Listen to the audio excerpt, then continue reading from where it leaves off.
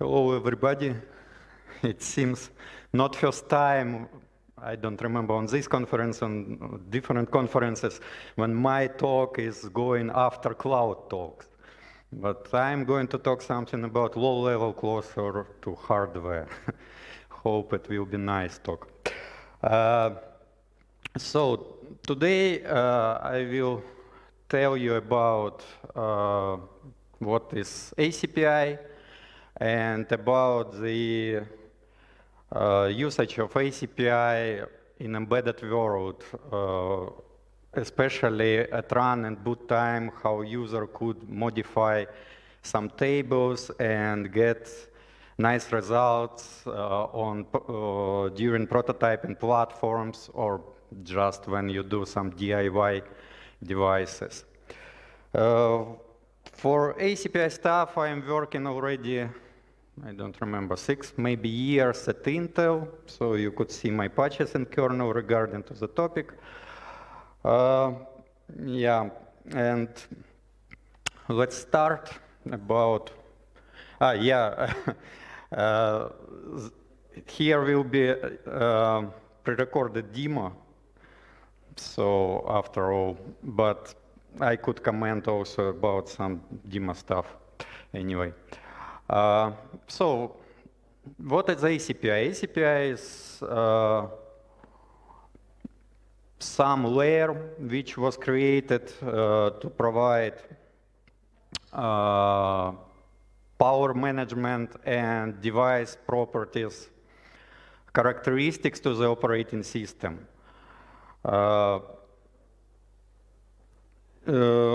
It, it uh, was designed to solve few problems uh, mm, like with power management and uh, uh, some other stuff when, when you need to provide on different platforms, you need to provide some like unified uh, representation to the like platform description to the operating system. And uh, in this talk now, our main interest is the uh, embedded uh,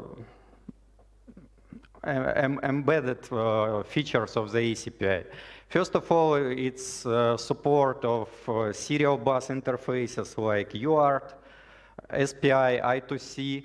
It was appeared in uh, version 5.0 and followed by support of device properties in version 5.1 and also some pin configuration uh, in version 6.2.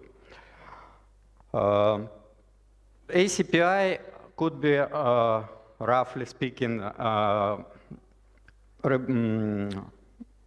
pictured as a glue layer between firmware and operating system.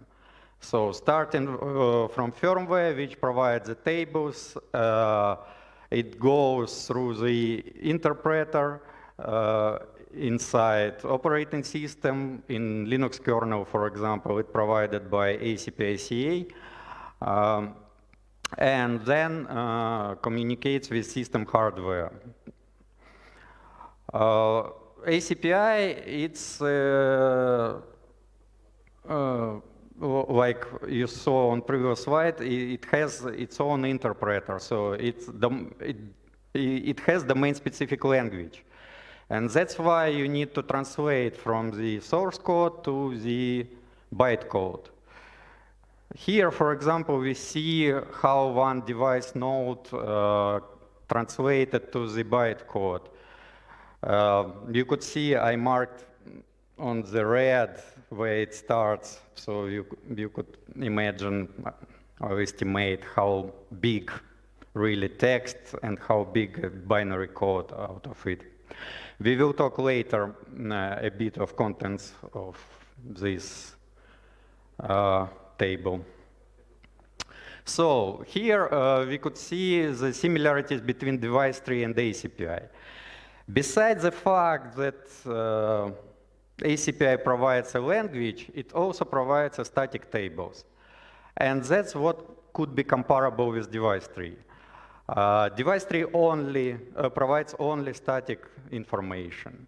So that ne needs uh, to be kept in mind.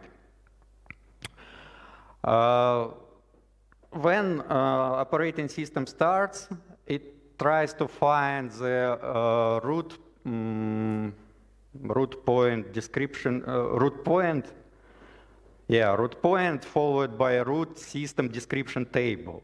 And uh, that uh, system description table, basically it's like a list of the other tables. First table is DSDT, it's called differentiated uh, system mm, description table, which describes basically all devices. It's the biggest table in the ACPI. And then additionally, it also contains so-called SSDTs. Uh, SSDT stands for secondary uh, system description table. Mm, the idea uh, of this was to, to split like common part. If, you have, have, for example, several platforms and you would like to have like one BIOS or one firmware for it to cover all of them, you could provide a static DSDT and then firmware at boot time could form uh, additional SSDTs. And then they will be uh, loaded uh, in order um, to provide it um, how it was provided. Uh, this also allows to uh, dynamically construct whatever you want. For example, if you choose in BIOS menu, you choose something, uh, it also may, af uh, may affect uh, the contents of SSDT. For example, you could choose between devices, disable, enable some devices, or um, their characteristics. I don't know, depends on hardware. So I guess some, some of you really have met such option in, in the firmware.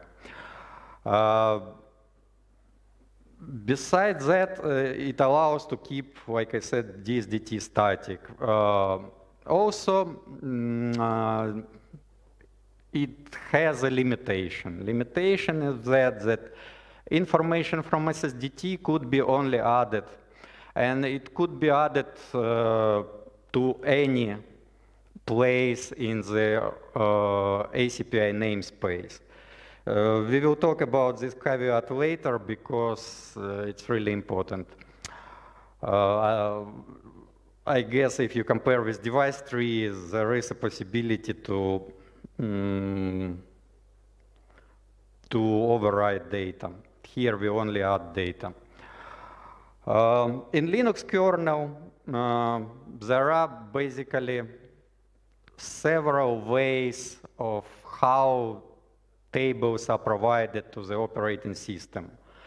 First of all, it's uh, what uh, OS loads from the BIOS, what BIOS provides. Uh, uh, usually BIOS uses SSDTs for describing CPUs and some other devices. Uh, uh, inside, inside kernel user, uh, not inside kernel, uh, inside platform, the user could provide operating um, tables to operating system in three ways. First way is at boot time to provide through initramfs. Another way is to put the, the table into EFI variable. And uh, third way is through configfs and Linux kernel at runtime. So we, we will see later also how to do the initramfs and configfs approaches.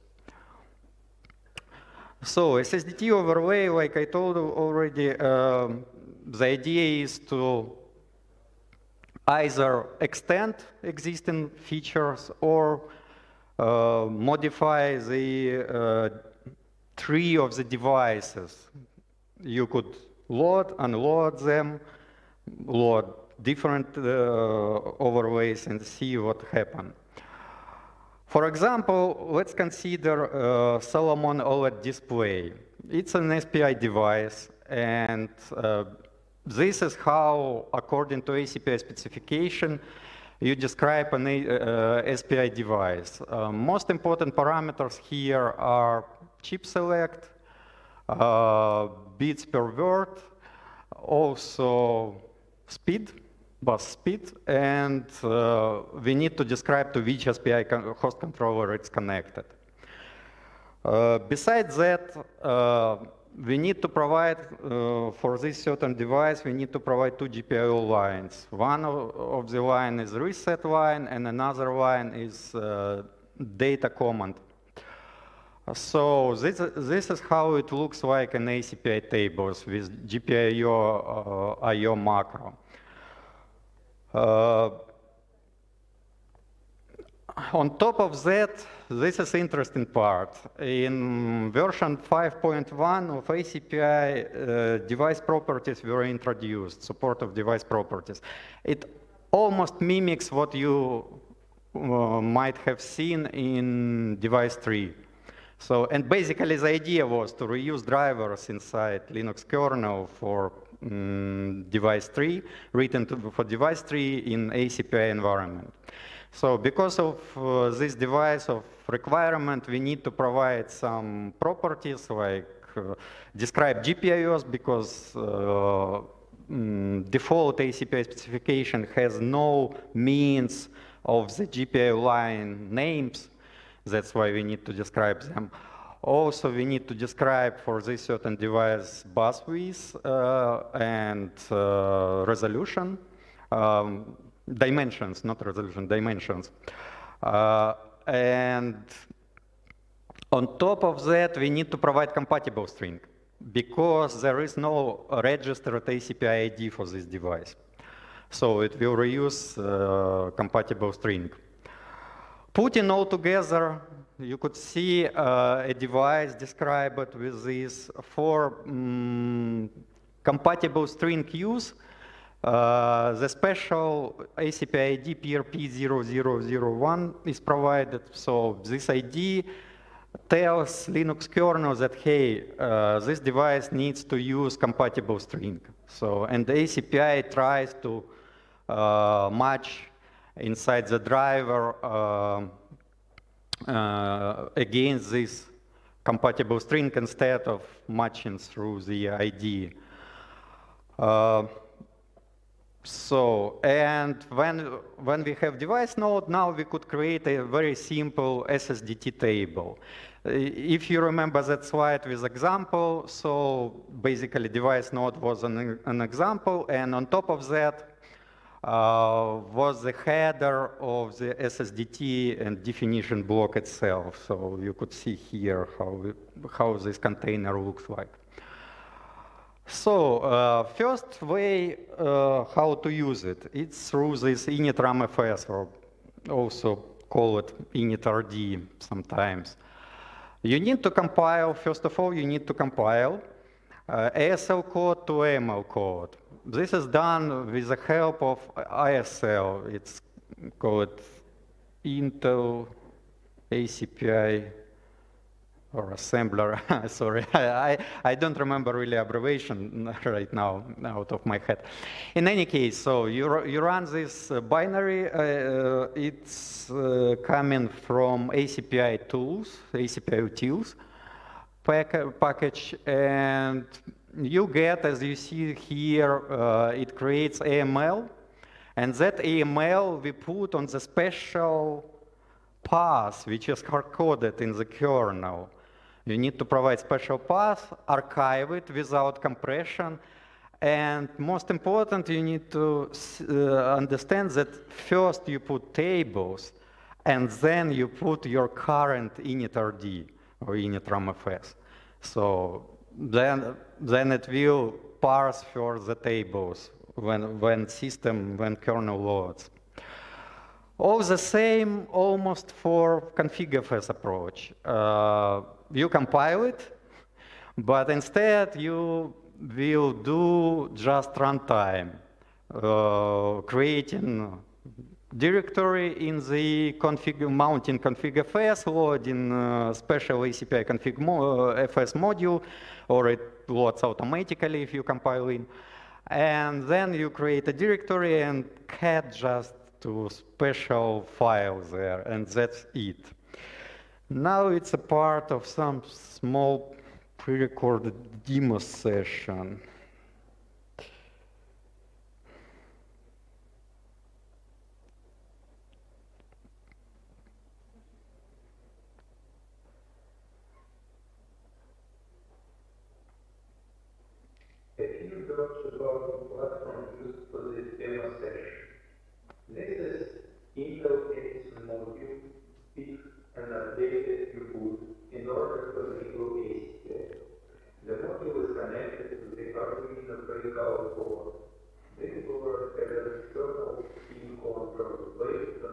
کوانتوم در خیلی سایی دوستی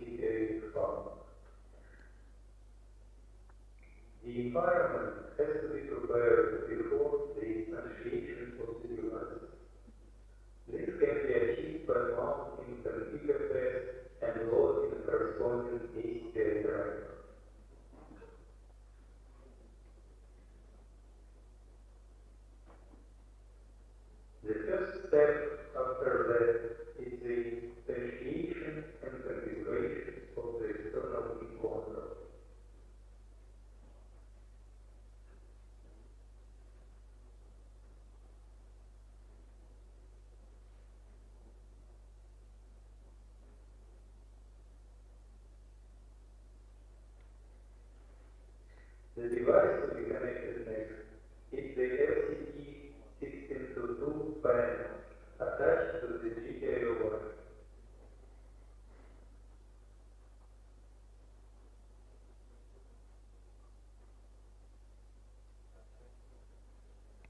You can see uh, text on the LCD, by the way.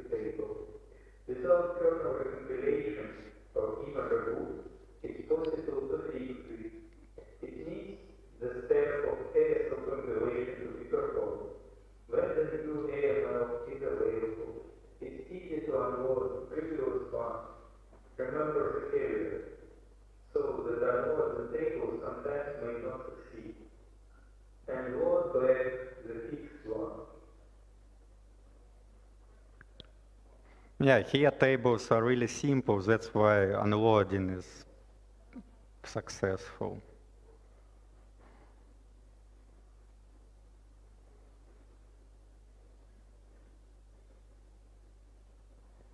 Yeah, now you can see that rotation is correct.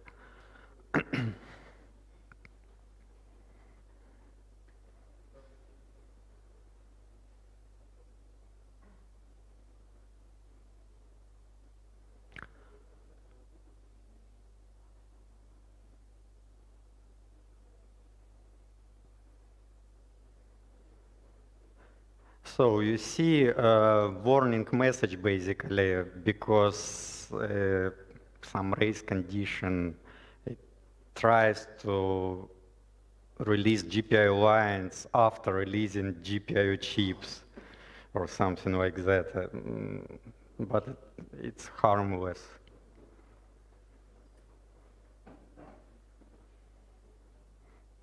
Here just another another uh, attempt to load without without LCD, I guess.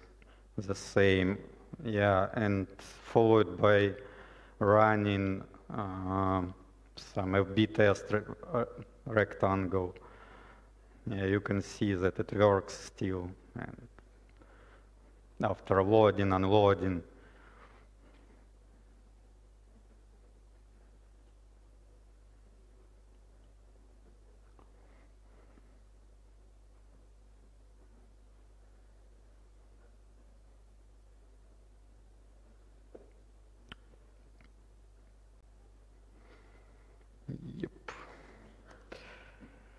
So a bit about resources for further information.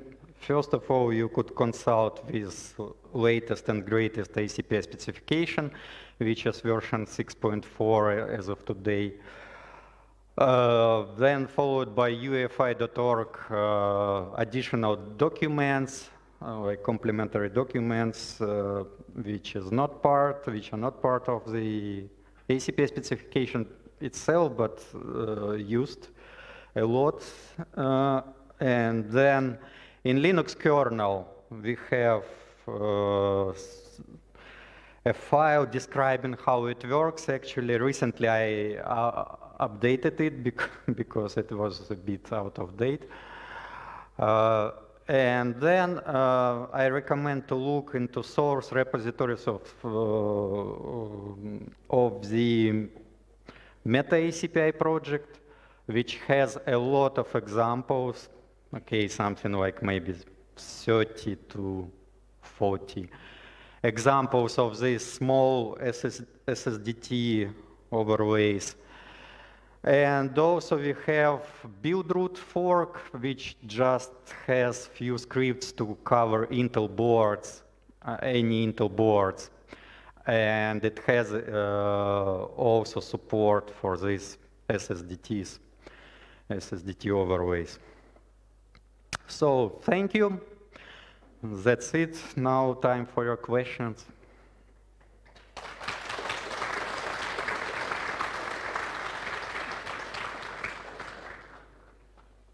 Okay. So, uh, what about questions? Anyone? Oh, I see. Please.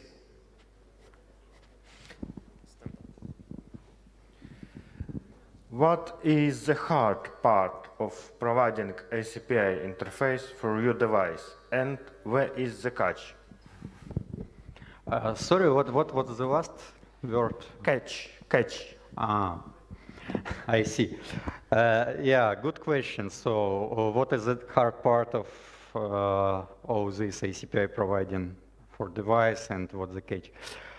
Uh, first of all, uh, ACPI is not really known on embedded world.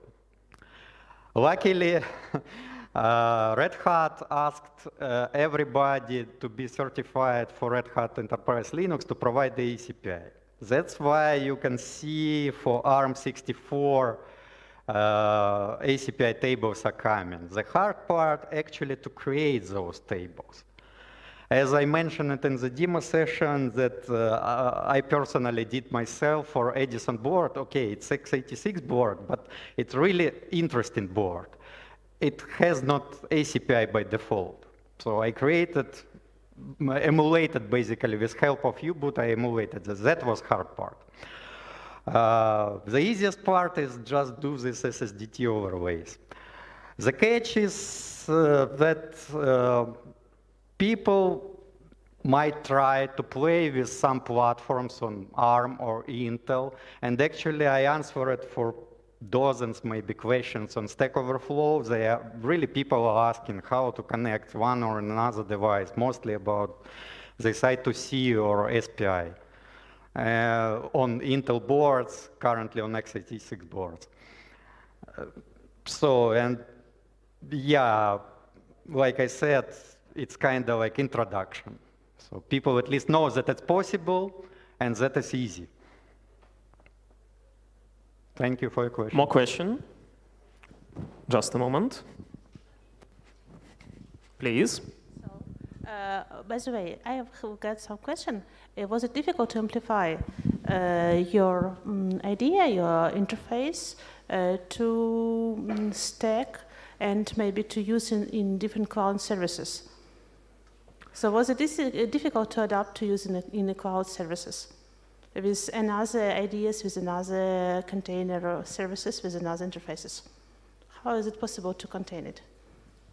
I'm sorry, I'm not really following. so when we compare your interface with another interfaces, ah, case. when we compare your interface with another interfaces, was it difficult to, um, to implement to adapt uh, for using in another systems, in another uh, containers, in another uh, doc services or maybe cloud services. Ah, okay, I got it. So usage in cloud services of the ACPI interface. Yeah, uh, usual usual usage of the ACPI is when you run a QEMU, and then it appears that you need to provide some devices uh, through ACPI. Yes, it's possible, but I am afraid that like uh, virtualization like QEMU or, or anything just do, do not have drivers maybe for all that to emulate or to provide. Yes, of course you could provide, it doesn't matter which system you are using. Okay, thank you. Uh, more questions? Yeah, one more.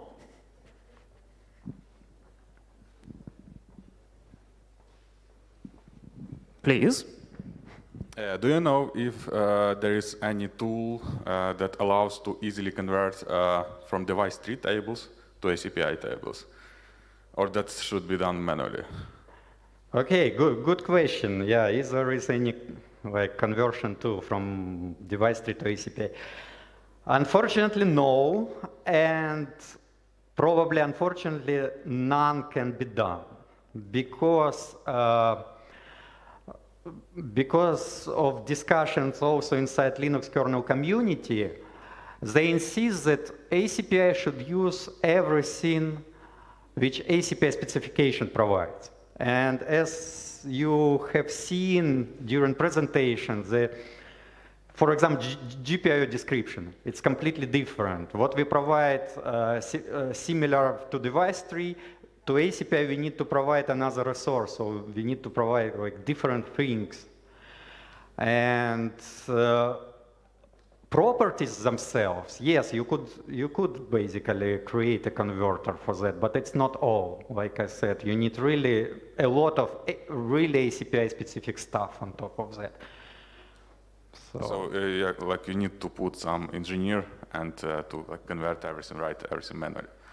Yes, yes, but like I said, it's probably not big deal when, when you learn it. If, if you have e easy way to learn it, it's take ARM board, even ARM32 board, and with U-boot or whatever, and try U-boot supports uh, ACPI generation, the table generation.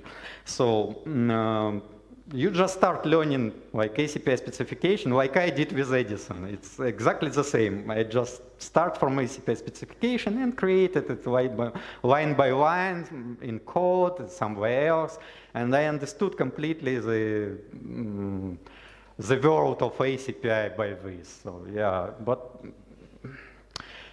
I don't remember estimation, maybe one week to get into this. Yeah. Yeah, maybe somebody uh, will create some open source tool. maybe. Would be nice. yeah, okay, great, thank you. Thank you. Which at least facilitates the process, yeah? Yeah, if not done it completely, but maybe some parts. Yeah, yeah. By, by the way, to, to add to this uh, answer that ACPICA itself, it's uh, like becoming more strict and strict uh, when you compile ACPI tables. Uh, I, I, think anybody who tried Hackintosh or um, like replacing DSDT because of some bugs in firmware, they might uh, have seen or met the uh, problem when you decompile table first and you try to compile it from some firmware, it's like full of errors. so because, yeah, because compiler, ASL compiler is getting stricter all, all the time. So, and we, we hope it will be better and better. okay, thank you for your great talk.